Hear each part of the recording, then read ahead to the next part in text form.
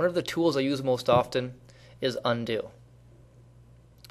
So I'm going to make some changes to the sphere and then undo them. So I'm going to go ahead and select some points. Oh, need to have undrag select. There we go. There's some points. I can use the arrow key, move them down if I wish.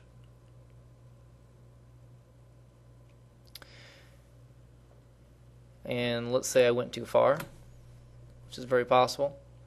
I can use undo to go back, or redo to go forward again. Let's make some more changes here.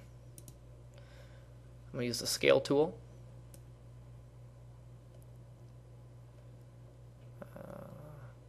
suck it in a little bit. There we go. Uh, if I go too far, again, I could go back to undo. There's also shortcuts for undo. Control Z, redo, Control Y. Let's do a couple more changes. So I'm going to select this point down here at the bottom. Use arrow key. I like using the arrow key because it keeps it straight. You could pull it down using the move tool, but you may get off center. Again, if you're off center, no big deal.